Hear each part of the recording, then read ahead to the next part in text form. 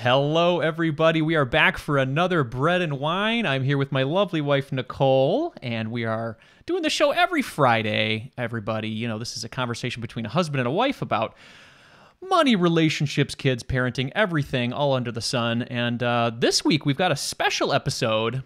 We are going to be included. Uh, we are going We're to be on a double date. We're on a double date, exactly. We're, we're on a double wine date, and we are inviting another couple into this universe, and it's uh, somebody that I spent some good time with, and Nicole is spending a little bit more time with the um, the, the, the spouse today. So, uh, without further ado, we're going to be introducing Scott and Taylor Rieckens. These are the stars and the creators of the documentary film Playing with Fire. This came out a couple years ago, and it. Uh, swept the nation. It swept it swept all the money nerds of the nation. Absolutely, I really enjoyed the movie. Uh, it got uh, uh, recognized by U.S. News as one of the top ten best finance movies of the decade. So.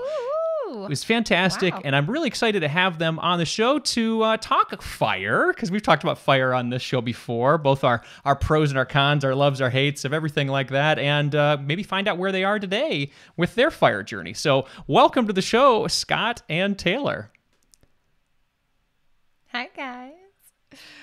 Can you see, can you hear us, guys? So seamless. That was amazing. Well done. What an intro. Thank you.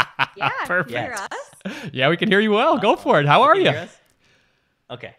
I think there's a delay. Yeah. Thank you for that introduction. That was very complimentary and nice. Appreciate it. Uh oh, I think there is maybe a smidge of a delay. It's okay. We're going to work on it and we'll do our best. But uh, we're glad you guys are here. Thank you so much for being here. And while we're at it, why don't we raise our glasses of wine and uh, and cheers to uh, to an episode together. Thank you guys so much for being here. This is going to be a lot of fun. So why don't we start off with uh, maybe if you guys yes, that's exactly how I had to do it. Uh, maybe you guys could tell us a little bit about the film and why you created it in the first place, just to give people some context, just so because they might not know uh, a little bit about the film. So tell us, give us a little background. Sure. So, um, before we swept the money nerd nation uh, with our film, uh, we uh, we were living in a high cost of living area. We were riding the brink of paycheck to paycheck lifestyle. We were going out to dinner constantly. We were wondering why there wasn't more. And then all of a sudden, we were adding an additional human to our brood. And all of that kind of coalesced into uh, me in particular feeling very stressed out. Taylor was not stressed out. If I'm, I don't mean to speak for you, but Yeah, you, were, I you only were fine. I only got shingles, so yeah, I wasn't that stressed. That was afterwards. like mediocrely stressed. I think that was after. Okay, yeah. Yeah. no, No, but you liked living there, and you weren't really too concerned about all those things. Yes. I was, and my, uh, you know, my solution in my head was let's go make more money.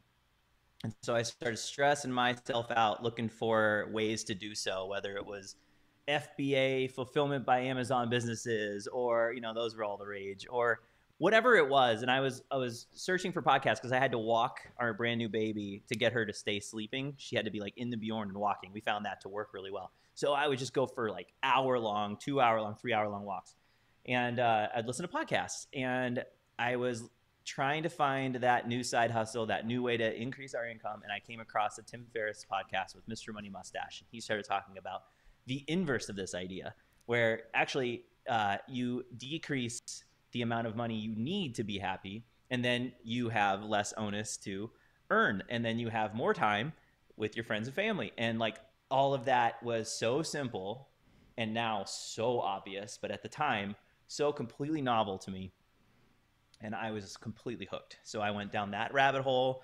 He took me into other rabbit holes. Next thing you know, I have this wide breadth of an introduction to what I considered the fire movement at, at that time and was so fascinated by these people. Um, wanted to, I was so excited about the potential that this was going to give our lives. I wanted to meet them.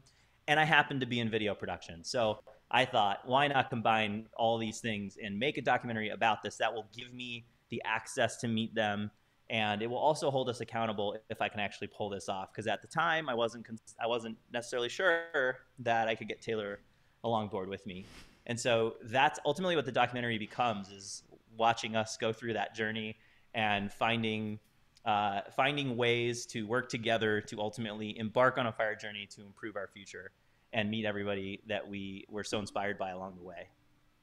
I loved the film, and I'm not a money nerd. So, I mean, I think that says a lot. Like, Andy's the money nerd, and then he just pulled me in, and I'm like, all right, this is actually really. I was like doing folding laundry, and I actually had to stop folding laundry because I'm like, I'm actually enjoying this. and a lot of that's because of Taylor, because I see a lot of myself in Taylor, and then also you're just adorable, and and you give it like so much color, um, and the juxtaposition between the two of you, I think, makes for such a great story about the fire journey because a lot I, I have to think that a lot of people would you know kind of have when you're when you're in a relationship and you're sharing your money not everyone's gonna like be on board with with wanting to retire early so i loved seeing the conflict so Yeah.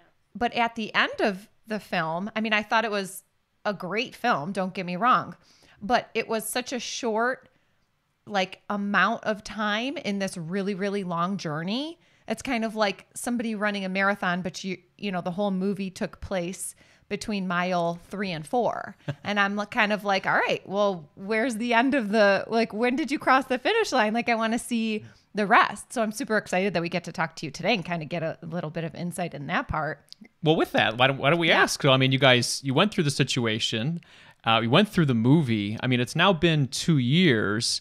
At the end of the movie, this was a big decision. Tell tell us what happened at. Well, I guess I'm not going to tell what happened at the end of the movie. That's kind of that kind of ruins everything.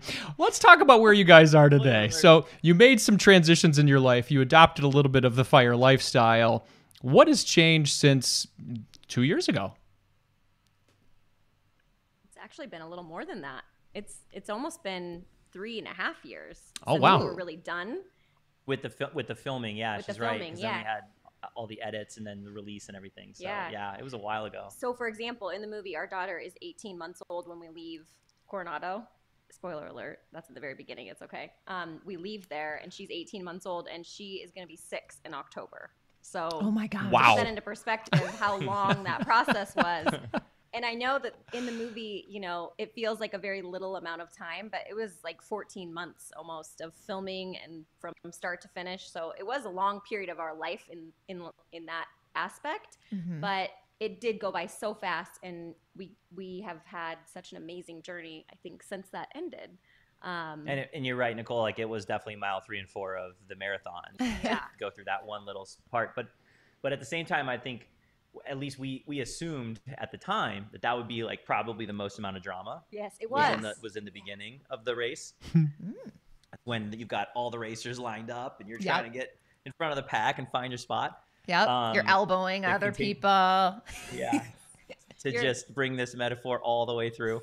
Um, and so, uh, yeah, like I think um, now we have quite a few updates, but you know, I, I, I do want to bring up real quick in case I forget. Uh, one of the criticisms of the movie um, that I think I've seen the most, I want to say it's the most consistent criticism, is um, that you go through the movie and Taylor is the reluctant. She's like the reluctant protagonist. Like you know, she's kind of like the reluctant Han Solo or something in the film. and the good news is i didn't have to act at all for that i was very reluctant i was Yeah. extremely reluctant yeah, didn't want to leave I there's almost wanna- no acting in the film itself. Uh, Yeah, no, yeah, yeah. no acting No, no the only I will give you a uh, an exclusive, Andy, Nicole. The one piece that was acted was our happiness list scene because we had done that previous to actually hitting record for the first time, and we felt like it was such a wonderful and important um, piece of our process to really get started that we wanted to include that in the film. So that's the only time we technically acted. But, But it- hilariously but it- enough, as soon as the camera went, what are you gonna say? I was just gonna say it wasn't even acted because Yeah. we didn't like we didn't show each other what we were gonna say, and so as we were saying it, it was like a live reaction of what that really was. Yeah. okay they were similar lists Yeah. to what our first list was, but there were a few changes, so it kind of like mixed it up. So it was, it was like it was live, it was done live, but we kind of knew it was like the only produced scene in the entire Yeah. movie. But anyway, the criticism that was so uh, prevalent was that they felt like Taylor was super reluctant, and then all of a sudden it was sort of abrupt that she was suddenly on board and everything was fine. And um, and I actually agree with that criticism. Um, and I remember when we were in the editing uh, at the at the very late stages of editing, that was pretty obvious to us too. Um, the team consensus was that like the there's a scene prior to when she kind of comes around where we're we're learning more and more and seeing um, sort of outcomes through the Camp Mustache experience, where there's people that are already retired and living their best life and everything, and Taylor's kind of enjoying learning from them. And they felt like that was enough of a bridge. And there was a lot of sort of back and forth on whether that was enough. And it ultimately came down to we lost, we like we we ran out of time. We just didn't have any more time to continue to massage this thing. We'd gone so long already.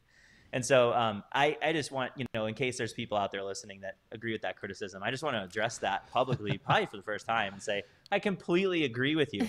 Um, And however, I, and I can assure you, it was a very long, long journey for me, and all of the things you didn't see behind the scenes were, you know, me crying in rooms with Yeah. a closed door and being like, "I don't want this life. This is not for me." yeah, you know, there, Yeah. there was a lot of that, but Yeah. you know, to have a film crew follow you for that long is it's a lot, and it is it was such an amazing journey to be able to do it on camera because now we I always say best home video we ever made, you know, like Well, so there's a lot of people that that uh, that uh, listen to the show or listen to this podcast, and they have those conversations with their spouse where it's like, "Hey, I'm not digging what I'm doing right now. What can we do to make a little bit of a change so that we can, I guess, kind of both live our best lives today, not wait until we're 60 or plus to do this?" I guess Scott, how did you initially have some of those conversations? One, how did you initially have those conversations for her to to be interested in fire, and then two, how to record it uh, publicly for everybody to see? How did those conversations go? So the, yeah, I'll I'll back up. I'll, I'll- I'll answer that those questions inversely. The uh, the recording part was he lied to me. Yeah, it total total hoodwink. Yes, It really was. It was like we like backed into that. So the original no, let me tell it. Oh, sure, He sure. said, Yeah. he said, um, hey, oh my gosh, this big thing, you know, and you can tell the first part about how you got me to talk about the finance part. Once he got me onto that, he was like, oh my gosh, there's no documentary. Of course I have to make a documentary. I'm a filmmaker. I'm like, of course, do your thing. Like, make your movie. Like, that's great. I've been a part of a lot of that with him for, you know, 10 years at that point. Like, of course, go do what you do. Then we went on our journey and we met our director, and he was like, Well, you're the story, so we're going to film you and have you do this process. And I was like, Oh, no, no, no, no. Nobody said that. That was not part of the plan. yeah And I think if it wouldn't if it wouldn't have come from someone else, yeah oh, I wouldn't have never said yes. I I would have never said yes to this. I was adamantly against pretty much all of it. Yeah. But our director Travis Travis Shakespeare is literally I talked to him yesterday, one of our our just most closest wonderful friends and who we met on this journey and truly was just a really big mentor to us and like really convinced me like Taylor put this put your story out there to help others and it will make a difference. And I think that was the selling point for me to say fine you can come into my house you know? Like that was that was a lot. Yeah, and I, I, I was, I was not going to take credit for getting her on camera because it really was.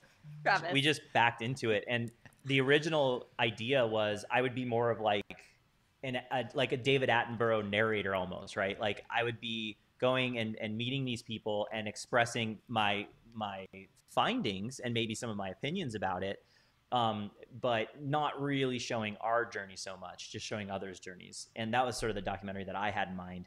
Um, and then uh, the acceleration point was actually when Taylor gave me that support, I went full bore.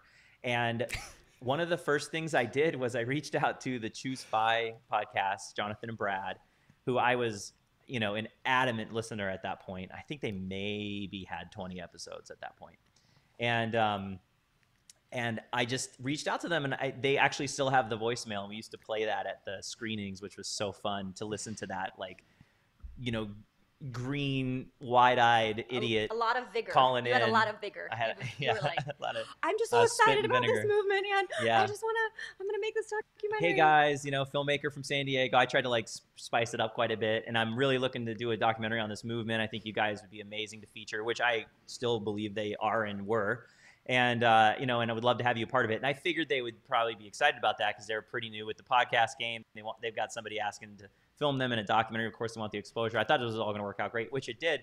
But I didn't expect them to invite me on like a week later. And this is my first podcast ever, ever. Like I, I have, yeah. So I was nervous and I didn't know what was going to happen. And they basically introduced me as the guy that was making the fire documentary, which I, I hadn't set up a website. I hadn't really planned this out too much yet. I was still kind of thinking about it. And so when I called them, We and weren't so we weren't really planning on moving yet. Yeah, Like, so they nothing kinda- had really been set in stone. It was Yeah. like Wow. all very new. yeah, they turned the tables on me. Here I am thinking that I was going to get them excited, and they ended up getting me excited and getting it going. And so that kind of started the journey. But that's the reason I bring that up is Travis heard that episode and was like, "Oh no, this guy's making my documentary." He had gone to Chautauqua a year prior, which is this fire event in Ecuador at the time, and had met a lot of these guys that are, ended up being in the film and was was like also from video production. He's an executive producer of the show Life Below Zero on Discovery. He worked for many years on um, uh, what's the uh, Deadliest Catch. Uh, he's done a lot of the Alaska stuff, and so he was already in production as well, on even a higher level than than I was. I was more like commercials, um, agency, marketing agency world, and so he was walking around getting all the um, getting all the you know our our eventual cast members signed on to his documentary and they were stoked about it. I mean, here's a guy with all this credential. And then he hears me come on and just I'm saying this stuff and he's like, "Oh no, he's doing my documentary."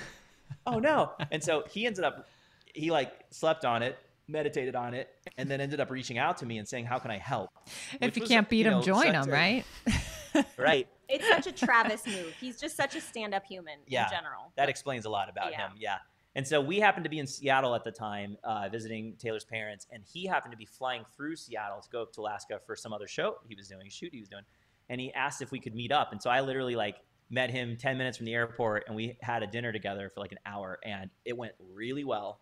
And he basically was like, "I'd be interested in being a part of this project if you'd have me." And I was, I just, I'll never forget like driving home, calling Tay, and being like, "I can't believe this, but we have this unbelievably tenured director who wants to direct this film. This is going to change everything. And then we found out we were in it. So it was It's kind of like the So- universe made the movie, not you guys. It's like everything pushed you into it, and then they were like, "Now you're gonna have to do the fire movement because Yeah. that's how we feel. you're making a movie about it." I want to, and I also want to remind everyone, it was, it was the idea of the movie was playing with fire. Like we're just trying it out. Yeah. We're not fire experts, and I feel like we kind of got backed into that really early on. Like everyone was like, "Oh, you know everything about this," and we're like, "No, no, no. We're just learning, just like you." You know, and Yeah. so creating that that relationship with money for us was just as new as it was for everybody else. Yeah, Um, and I had a lot of I, I don't I know you were a little more sheltered from this and that was by design, but I, I was obviously, you know, in this this was my day job. It wasn't Taylor's. And so I tried to do my best not to bring her in too much, even though she was definitely like the star of the movie in my opinion as well. Oh, thanks, honey. Um, Hmm. but like the the the big thing was I had never done any of this media stuff, and and you guys know this now well too. I'm sure it, it was very much like the media was creating an identity for me instead of me understanding what this new identity was, and so that was kind of a, that was like the bit of the hard knocks part of it, where all of a sudden I'm being asked questions that are so framed in a way that I wasn't I wasn't apt enough to understand how to reconfigure the question to the answer that I needed to answer. Instead, I became yeah, like a spokesperson for the fire movement, which also sort of felt right because I needed to promote the film, you know, to do that diligence. But it got real weird. I mean, Andy, you remember we went on a walk run, whatever that was, with pull ups and the rest of it a at log? FinCon. A log? I maybe had an hour of sleep that night, and I was just, I was just gushing to you like a, like I don't know, like a teenager. Like I couldn't keep my emotions together, and you were so awesome. And then I was like, okay, Andy's my guy for life. Aw. You're a good man. awesome. So I see your beautiful was house. my mind. Your beautiful house in the background. Is that the the same um, home that you guys bought at the end of the movie? No, it's not. So, um, updates. Yes, we um, we absolutely we just feel so fortunate in so many ways. But the house we bought is five doors down this way. Okay. Um, and it was on the road, which in the movie we talk about. We made a huge sacrifice buying on the road and kind of living in a smaller space, and it was, you know, whatever. Well, that next year and a half, we had saved so much more money, which honestly, if you rewound three years prior to that, we would have never even dreamed that we had enough money to think about another purchase. And we were able to do that in a year and a half after that first purchase. And we bought the house five doors up because it has a short term rental on it. So now when we mm. leave, we can rent our place out and create a cash flow that way, which I wasn't really sure how I'd feel about people being in my house when I wasn't here. But honestly, I don't know if it's just the neighborhood or what it is, but we've had just the most lovely renters, and it's been just a really great thing for us because we travel so much and we're gone so much. So And remind people where you are in the country. We're in Bend, Oregon. Beautiful.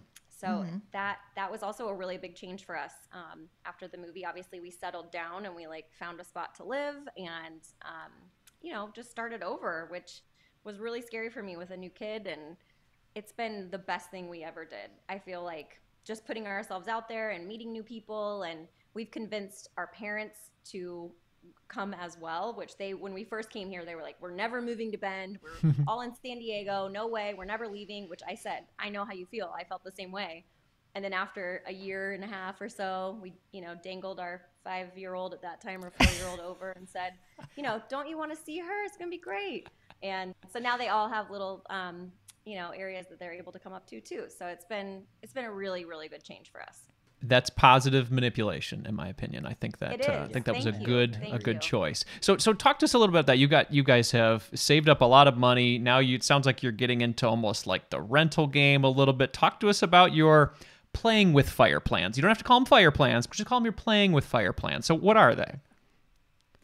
Yeah. Um, you know, we're still dabbling in fire for sure. Like, uh, we're playing with fire still, absolutely. Um, we, you know, we went full extreme mode in the film, and that was real. That was actually what we were doing. And when we got to Bend, we in had full our extreme for people out there it's 70% of our income we were saving that to Wow. us was full extreme Yeah, it was more than that. We we hit 78% at one point in the film.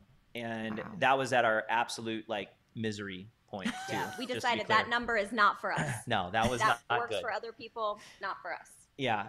But, you know, just like a marathon if you've never run, uh just really gonna come back to oh, that absolutely. You guys we're sprinted. You were metaphor you were sprinting. You sprinted a and marathon. Then, and right. then you Yeah. twisted your ankle.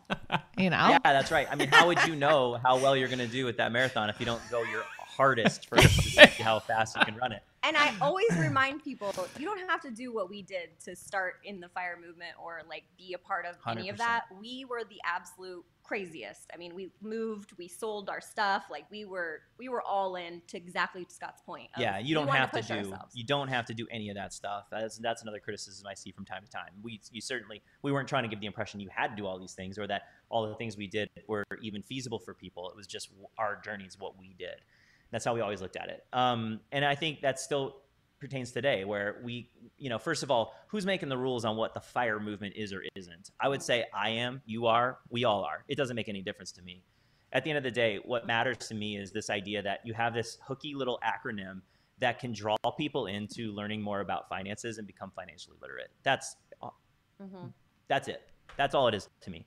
That said, um, we do enjoy the idea of having our systems in place so that really what we're what we're fighting against often, very often, is simply the um, the sort of monthly expenditures that maybe we did or didn't need to make. And that is such an easier place to be making money decisions from together or or individually than where we were prior, where we were barely making ends meet, and um, and so every decision made it counted so much more, and so you know it had such a higher penalty rate, and so you know people in that position, I would recommend trying to go as hard as you can towards a higher savings rate because you can work backwards mm-hmm. right? But if you go only to a certain mark and then you feel like that might be difficult, well, maybe you've never tried to go a little bit further to see if maybe, you know, if you go 60% and then, oh, that wasn't as bad as I thought it would be. And then all of a sudden you come back to 40 because that's a little bit happier spot, as opposed to running up to 30% and being like, that's the most I could ever do Mhm. when that may or may not be true, you know? And so I don't know that this is all personal to everyone's personal journey, but I, I, I just think that's kind of like when we try to give advice just based off of our own experience, I do say like, do everything you can to go as hard as you can because you can always let off the gas. yeah Um, I think for us, once we figured out like our housing situation, which we were renting before forever. And we thought that was like, oh, we're going to save money because we're not going to spend as much as a house. But we were drastically wrong, at least in our own setup. Once we got into a house that we could afford, the monthly payment was actually less than we were paying for rent. and it just made so much more sense. So once we figured out housing and our car situation, which I was leasing a car that was far too expensive for what we could afford, and um, our food situation, which for three of us like shouldn't be that difficult. Um, once we figured out kind of those big three things in the first year, once we really settled, it felt like we could automate a lot of stuff. And then it was like, if you want to go to Starbucks and spend your five dollars, I'm not going to be mad at you. And if I want to go, you know, buy an extra bottle of wine that's maybe a little over budget, that's okay too. Like there was a lot more flexibility that came after we settled in and had those um, specific, you know, points or pillars kind of put into place. Yeah, we didn't even know what that lease car was really doing to our our opportunity cost. We didn't know what that was doing at the time, and so, yeah, again, the fire journey kind of gave us that, you know, that financial literacy necessary to make better money choices. That's ultimately what it was about. So our our so that so you asked about like how has our fire journey changed? So um, when we first started out, it was all VTSAX all day long, 100% all day, every day, no questions asked. And um, and I'm glad we did that at the time that we did that. But, Tell people uh, what that is, Scott. Oh, sure. that's uh, that's in, that's index Sounds fund dirty. investing. Oh, okay. All Really right. fun. Sure, yeah. Yes. He said S A X. Oh, That's right there. oh, oh. Like where your head's at, Nicole. Yeah, there you go. Oh, that was awesome. I never heard that part. Um, See, that Taylor, was we have to So, bring we have to bring the funny to these guys. I know. I like it. Exactly. I like it. It could be a T-shirt. That Uh, could be a T-shirt. Yeah. No, no more T-shirts. It's VTSAX, honey. Got it. Get your mind out of the gutter. Um, yeah, so it's uh, so it's index fund investing, which is basically buying a big bucket of stocks that are picked by people who are far smarter than we are and tend to go up at a very uh, conservative yet upward rate. Um, and we look at that as a long-term buy and hold strategy. So we don't care what the market's doing now, tomorrow, or even in 10 years, because it's really not going to affect how we live our lives. It's only until we get closer to retirement that we then start to get a little smarter with you know where we have our money and how we can pull it out and essentially sip on it um, to to you know maintain our expenses, uh, but hopefully never draw down on the principal, and that's all based on the four percent rule. If people don't know about that, take a look at the four percent rule. At this point, you can go, you can Google it. Hopefully, uh, one of our YouTube videos will come up talking about it, and uh, uh, it'll explain it. But it's very simple. Um, and so, you know, we kind of predicated most of our investment strategies off of very simple max out your retirement accounts first, have them invested in VTSAX, call it a day. And through the years, we've gotten a little bit more um, detailed with that, where we have a certain percentage of our um, of our stock investments in international exposure, uh, and we predicated that. I think it's 1585, so 15% are in in, uh, international funds, and this has been a while since I checked this out, but I got that from the Mad Scientists, uh, our friend Brandon, and uh, you know I just read what he was thinking about it and how yes, VTSAX, as Jim Collins would say, JL Collins, the Simple Path to Wealth, as he would say, if you're in VTSAX, you're already internationally exposed because these Fortune 500 companies have their fingers in you know multi multi multiple countries around the world. They're international already. So um, that said, I you know there was some discussion about how maybe the U.S. was weakening a little bit, and so maybe it makes sense to get a little bit more internationally focused. And so we just bought the I think it's VTISX or something. It's the There's it's another the one for you, Nicole. Vanguard uh, index fund. Yeah, and it's uh, international. So Ugh, you know it's a little spicy. dorks. Um, Total dorks. you, you can take over the dorkness if you want. If you have a take take a better question, go ahead. yeah. I'm, I'm, so, so much question. so much of this i mean it's interesting but it's also like over my head like i want to know taylor are you still driving the the honda like i, want to know like let's rapid fire some of these burning Yes, questions. I am not. I want. I just want to apologize profusely for being so boring and nerdy. For by the way, I feel like I was just answering. We'll your give you a question. pass. It's just real. You're so loved. I haven't even gotten into real estate It's yet. really Yeah. yeah. Please, please spice it up with the cars. Um, no, I am not, but I did drive it for a solid three years. Um, And we literally bought that car for five thousand dollars. Oh, the Honda? Yeah, Yeah, the Honda five CRV. thousand. And um, we had a friend that was going to trade in an older car, but still a much nicer car. And we did a little deal with them. So we did a little switcheroo of the car. Ooh. So I'm driving an older car, but I, I think a little bit nicer than the Honda. So what Um, is it? So I did my. It's like it's like a old. Um, Why are you being so cagey? I don't know. I feel like I get share. so much shade. I get so much shade. Oh Tell me God, what it is. tell- Is it tell is You a- and I, is we it are, you're not going to get shade from us. No. Like It's a, it's an it's a Lexus uh, SUV. Like Nice. Well, yeah. It's a Lexus 450h, and I think it's a 2010, and it has 115,000 miles on It's it. a and great it's just car. cherry. It's perfect. Well, I love it so much. So, so we, we had a little similar H- Honda kind of situation We where did. I was probably look. I was probably around the time of the movie, maybe not the movie, maybe uh, a long time ago. I was looking at like, hey, you know, let's just get like a Jetta or Uh, something, we, or we test drove a Jetta where I kid you not, this thing was gonna fall apart from wind.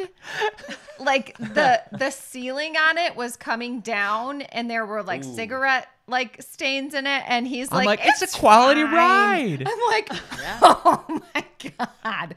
Yeah. So I sound. knew. Huh. so what did we land with? So then, so we both ended up with our we with we both had old luxury cars, and they got to the point where they were very old, and so I was like, I'll sell mine, and we'll get an SUV because we do have two kids, and it's getting pretty tight in these two sedans that we have. Um, And I was like nervous to tell him that I really did want like a luxury car. I'm like, yeah.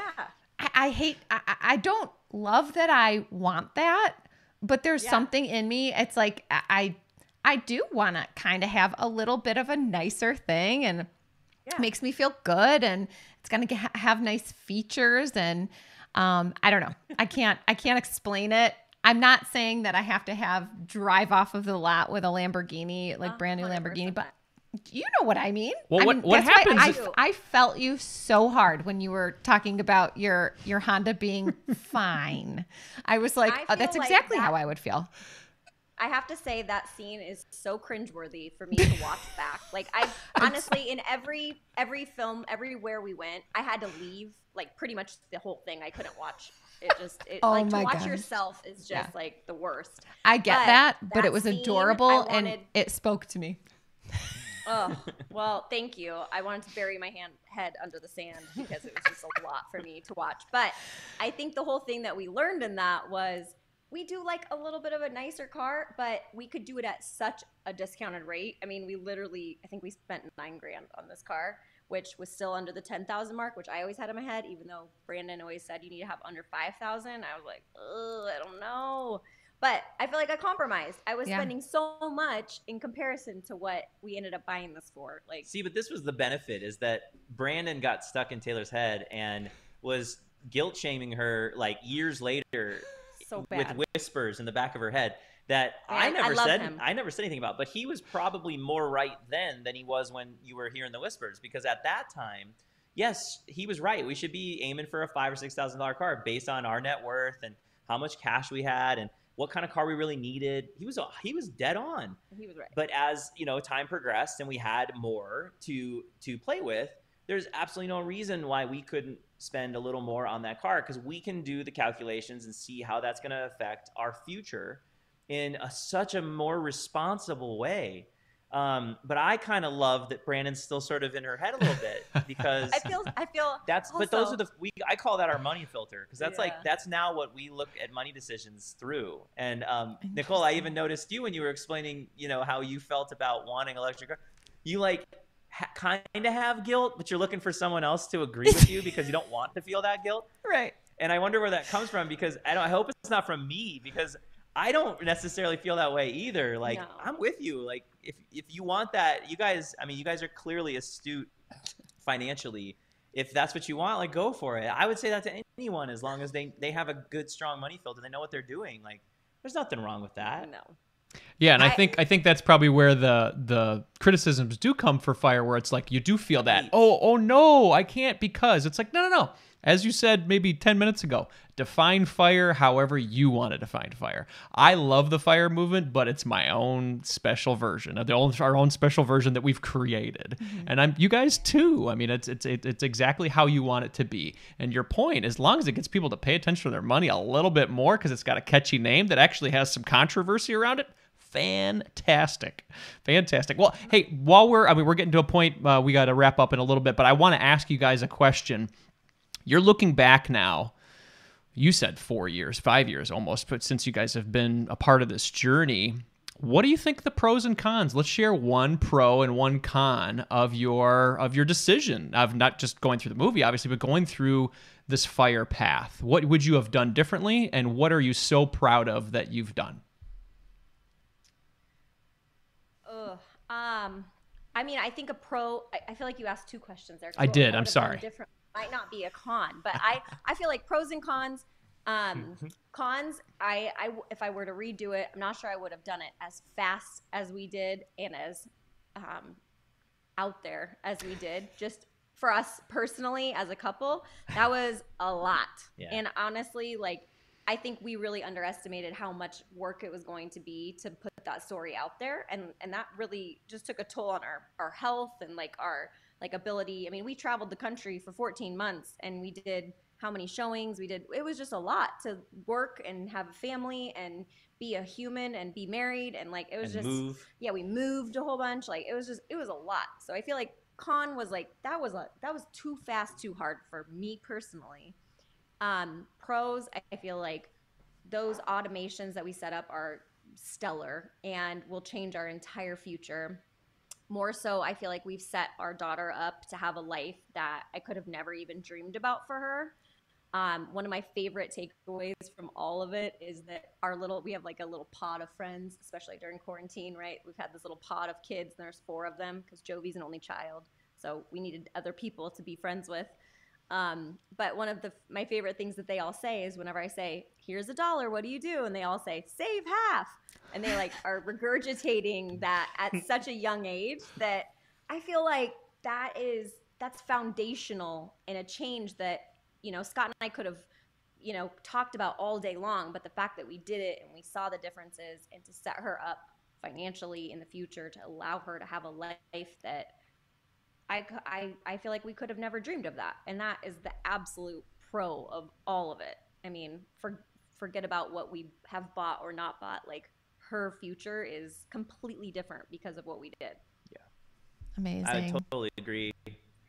I would piggyback off of that a little bit and say I totally agree with her 100%. That's like one of the biggest pros. And if I have to think of a different one, it would be, um, you know, the whole leading by example thing um, It's a good one. with, well, I think that's what you're describing is like Yeah. we're leading by example, and that has had outward effects in our own Our uh, friends, our our own family. family and our friends and those friends' kids, and like the multi generational effects of this is has been really fun to watch. But by leading by example, um, we take that and we're, we're we have examples that that we're running from, like we're running through, right? Like it's not like we made this stuff up. Mm-mm. we found this stuff through people that came before us who are far smarter than we are, and taking that, taking those um, those perspectives uh, and applying them to our life has been by far and away the biggest pro. Like for instance, um, you know, uh, our our newfound dedication to service, like the idea that we have to add service into our life, especially in the FI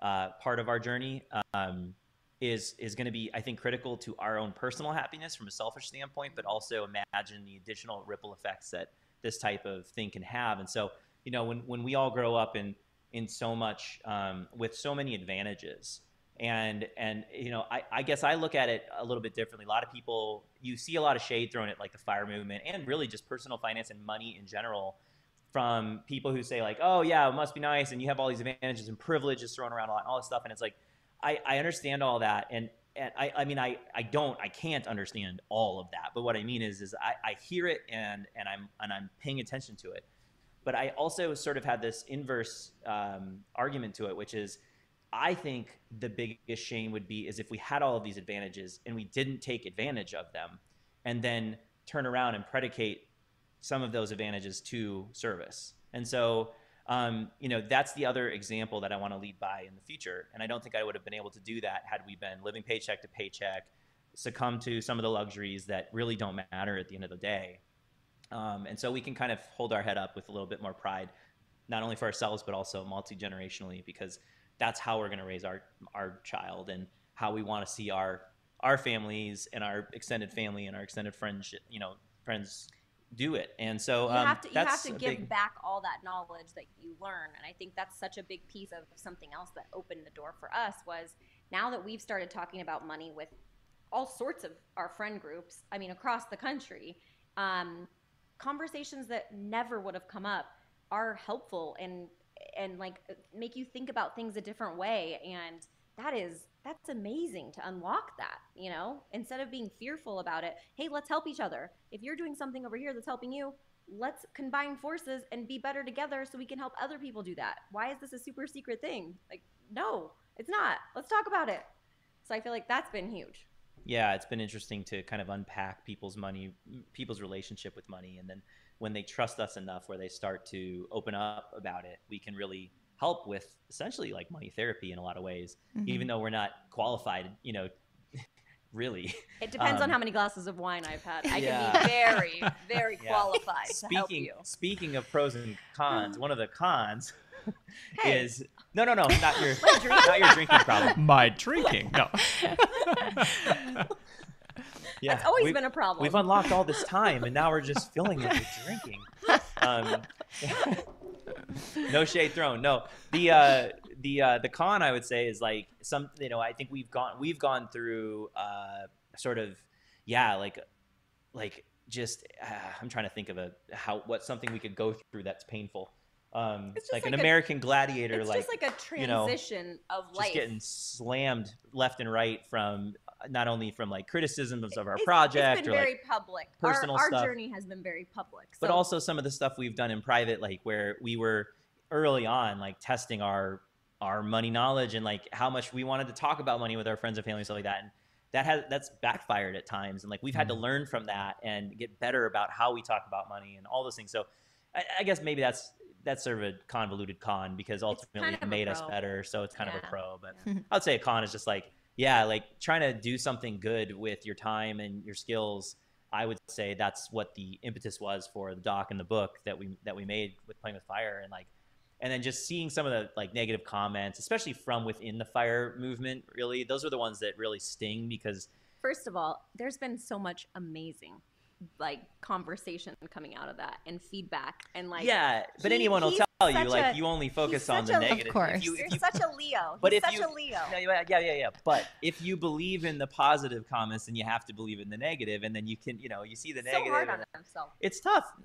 Whatever. It's it's. we it have, we have a is. whole It's we have a whole episode about that about how like the the negative You seem- outweighs the Yeah, we, positive we got I, and we probably have 400 crazy. positive comments on this podcast, and we got uh, one one star, and we did a whole episode on the one star. That's right So what does that say? Nice. Good example. fight the power. I can't. I, I I get some emails that are just uh like ruthless sometimes, and I'll I'll read them to Tay, and and I'll be like all upset and like seething, and she's like, "Don't even worry about it." And instead, what I've been doing because I didn't worry about it, I had so much coming in for a while there, just like influx of all kinds of stuff that I couldn't handle it all of it anyway. So I really did just put it away.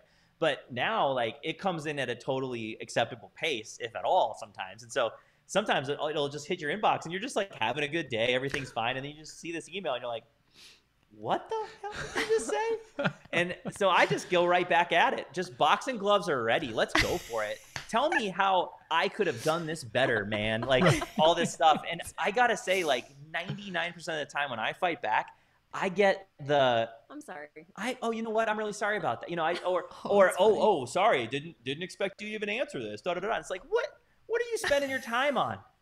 Jeez, like It's criticizing uh, someone's it's like, internet. uh, when you get you get your like internet Yeah. gloves on, or you like feel like, oh, I'm really powerful because I'm behind this keyboard and uh, Keyboard warriors, yeah, right? keyboard warrior. There we go. Absolutely. Yeah. But you guys, there's like It's like- two it- burning like questions though. There's Yeah. Right. there's Yeah. there's a lot of really wonderful stories of people that have had amazing things, and that's really I feel like no, it is. It's that's where we should be focused. Like the amazing stories that people write in and say like you changed my life. It's Thank true. you." It's true. I also will read those to Tay sometimes, and like we get verklempt, we get like all shaken up because we're like, geez, this is just. I couldn't have ever imagined, you know, lean in on that. positively affecting people this way. This is awesome. Like it makes you feel good selfishly, but also like knowing what that's doing for people. It is so rewarding. It's so fantastic. It absolutely outweighs the stupid negative internet police, whatever. But, I think um, Taylor's got a good it's point con. there, man. I think you should lean into that a little bit more. Be good for your good for your health. Yeah, but you're such a. I can see. I can see the artist in you. You want to look at the dark stuff. Yes. Yes. Nic- yes Nicole's we got some burning I do. I have two burning questions, and I have to ask them before we run out of time. Um, so I guess the first one is how Taylor, how close are you to being able to stop recruiting?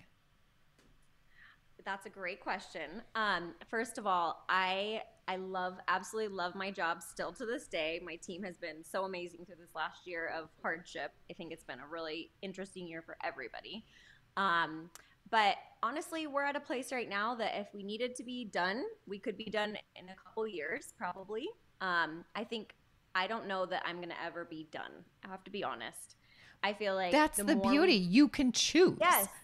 I feel Exactly. like we have become like very um uh very particular about our time and if I'm able to work in a specific time frame and have my daughter on both ends of that, I feel like it's the best of both worlds. I really do get to have a little outside, you know, brain stimulation and then I also have time to be with my family.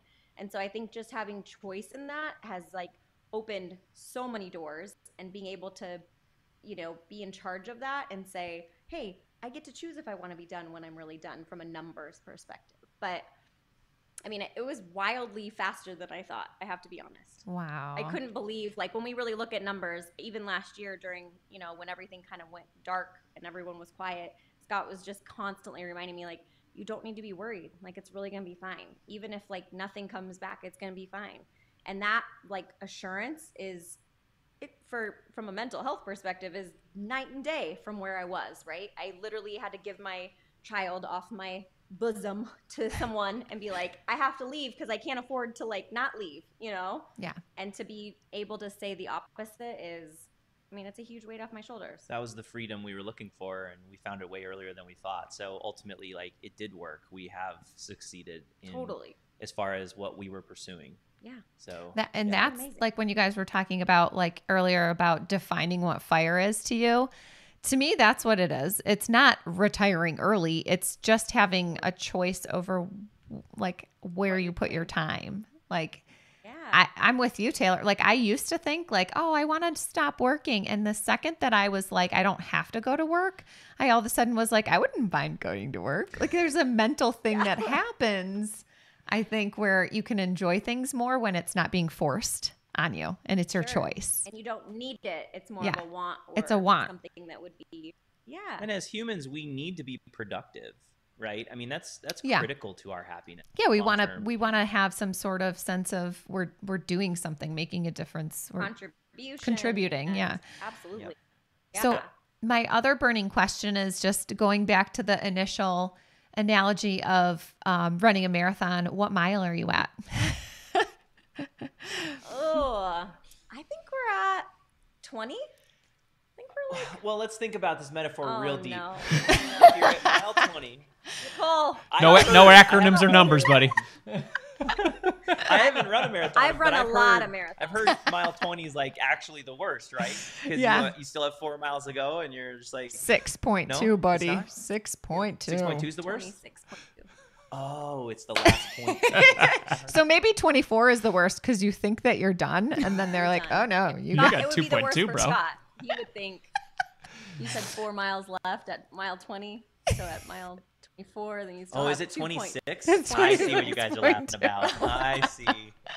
See, you're talking to a non-runner here. Um, I I think I think we're at mile 20. I feel like we can see the finish line. We know where we're at. Um, from a marathon runner. Can you see four or six miles away?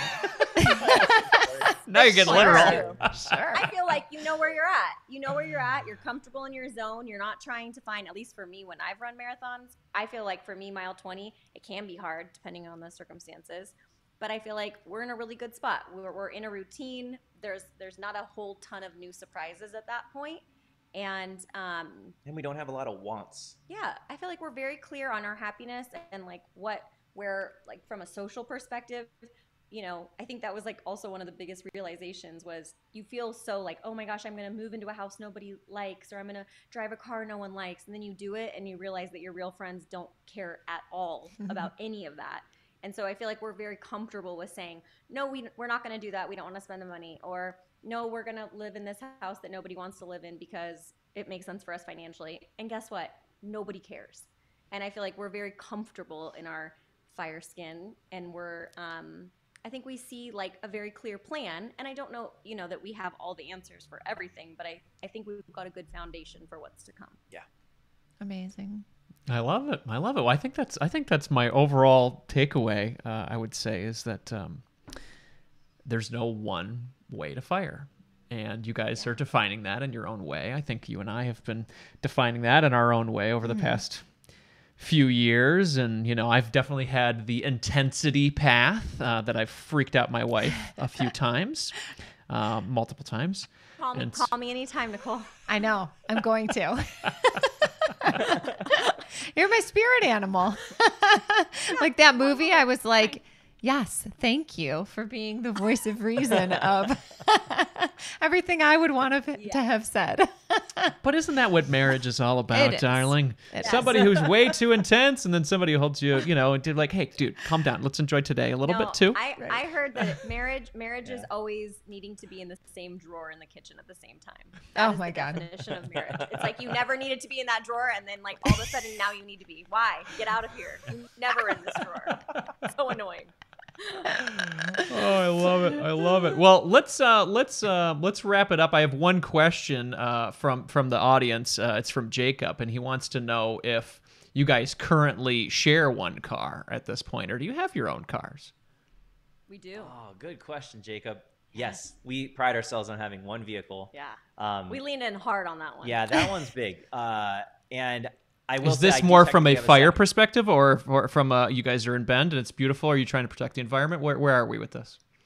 Oh yeah, all those All the things. above. Yeah, we from an environmental standpoint, we're trying to be conscious. We have a five and a half year old who's asking us like, you know, why things are getting hotter and things like that. So, you know, knowing that that's on her mind and it's something we want to again lead by example, it's important for us. And so, yeah, we say it with pride to people who ask, and we always try to, you know, do like the subtle nudge of, yeah, you know, you really should think about it yourself because you live in Bend and it's, you know, 15 minutes to everywhere, and we we get by, and they're like, you get by, yeah, we've been doing it for four We years. have bicycles. We walk. I everyone laughs at me and says I need to have a walking channel because I'm like the person on the side of the street that everyone always sees walking. Like I'm like, oh hi. Like I love to walk everywhere. Also, walk we made a little bit of a sacrifice as far as like our um I shouldn't say sacrifice. We we decided very diligently on our location so we could be around things that we could walk to. School, grocery store, you know, daily what she's daily saying is we spent a little bit more to be able to walk more and that was far that far exceeded the worth for us as opposed to like uh, spending a little bit less on the house but then having to have two cars to be able to get places yeah so we we went that route and so we feel very fortunate to be able to have done that but um, the other thing that i say is a total hack and andy you know this because we've been back and forth on this a million times on the internet is uh, I, we have electric bikes and I can't stress that enough. I mean, they are just they are a legitimate second vehicle. And for us, we live in a climate where we have all four seasons, including uh, snow. And I use my bike year round. It's very rare that I can't get my bike out there. I think I missed four days of not riding or biking, even in snow last year. Or walking. You should add walking. What'd I R- say? Riding or biking. Oh, I only ride in the fun wagon. That's what I call it, which is supposed to be for my child when I don't want to ride my bike. No, I'm just kidding. I, I like to walk and ride, but snowshoe too. Like Yeah. you can. There's lots of different options. A lot of ways to mobility. And anyway, What, what I love about that though is like you know we're always trying to carve out time in the day to I need to get in my workout I need to do 20 minutes here I need to do 30 minutes there but if your lifestyle is active you don't need to carve out the time to get to the gym or because you're doing it all day long right I haven't been to the gym, and I am at uh, ten thousand three hundred steps today. Amazing. So there you go you know, job. and it's only three fifty here, so I have a whole rest of the afternoon to go. We're you have plenty yet, of huh? bottles of wine to drink for, for the rest of I the day do. I'm so excited. We should walk to the store and get some more wine. There you go. That, now you're talking. Now you're talking. Well, I know we, we've taken up almost an hour of your evening, or your early evening for that matter. We just want to thank you guys so much for being here. It's been a pleasure catching up. And for anybody who's interested in learning more about this movie, watching it, purchasing it, supporting you guys, and supporting the movement in general, where should they go? Yeah, thank you for asking. Uh, they can find all of this on playingwithfire.co, and I highly recommend they uh, sign up to the email newsletter because that is active when we do things and not active when we don't. We do not spam it. We don't. We don't uh, spray and pray. It's just every once in a while we give the updates, and uh, we've got some really really cool things coming down the pipe here shortly with. Uh, a very cool uh, cohort-based course that we're building with a, a fellow friend. His name's Rob, uh, Robert Shea, and he's a certified financial planner. And so we're we're we're we're just we're building this thing right now, and it's going to be a live, interactive, six week long, um, life changing experience. And it's been so fun to build so far. So yeah, go check it out. And follow me on Twitter. I love Twitter. And it's not to be confused with the John Cena movie. Oof, I think that Right? that, that, that hits Correct. that hits the stomach, Yeah. doesn't it, there, buddy? Like, don't look this up on just Amazon Prime You can look movies it up or on whatever. Amazon, but it's can you? Play, you can look it up on Amazon, but it's Playing with Fire, the documentary. The right. documentary. You just have to add documentary Okay. to it. You'll find it right away. Yeah. Got John it. Cena, he bless his soul, he didn't mean to do this, but his movie got uh, first of all, it got announced after we had announced ours, and then they Ugh. moved up the uh, the date that they released eh, to be a week before ours. When it was supposed to be months after, and ah. we had our little corner of the world with playing with fire, and then all of a sudden it was just all lost know, to a guy who didn't need the money. Oh, honey, it's gonna be fine. So, but I, you know, I got nothing but love for Mike and Keegan Key or Mike Michael Keegan Key. And Oh, he's great. John Cena. yeah. Yeah, Awesome. But I still haven't seen that movie, and I probably never will. Yeah, I, I Yeah. would I would assume that you'd probably never see that movie, and that is an okay thing because this is the movie you guys need to see. Playing with Fire, the documentary. Go to playingwithfire.co. You guys check out this movie. If if you've heard about fire and you're just interested in it, this is your opportunity to play with fire. You can take a look at it, see how people are utilizing it to create space for their life, create freedom, create options, and then again, don't get literal with it. You know, design it how you want to design it because that's the excitement with fire. And the fact there's some controversy around it kind of makes it a little fun. So go to the website, check out the movie. This could be a really fun movie for you to watch here on Friday night with uh, with your spouse and uh, and see see the, the the fun and the agony at times of our friend uh, You Taylor. can see which one you are. Are you a Taylor or are you a Scott? You know. That's right. See where you fall. Hashtag Team Taylor, hashtag Team Scott. Absolutely. Well, Oh, thank you both so much. This over has been a lot of fun. I'm so glad you guys were able to join us for a glass of wine. And we'll Or s- hope- two. or for two. Hopefully, we'll you guys see you guys soon. Thank you so much. Thanks, guys. Bye, guys. So nice talking with you. All right, I think we're still in the room. I just Thank ended it. So, No, I think right. it still says we're live, babe. um, no, it's yep. Never mind. Hey, we're still live. Whoops. Yeah.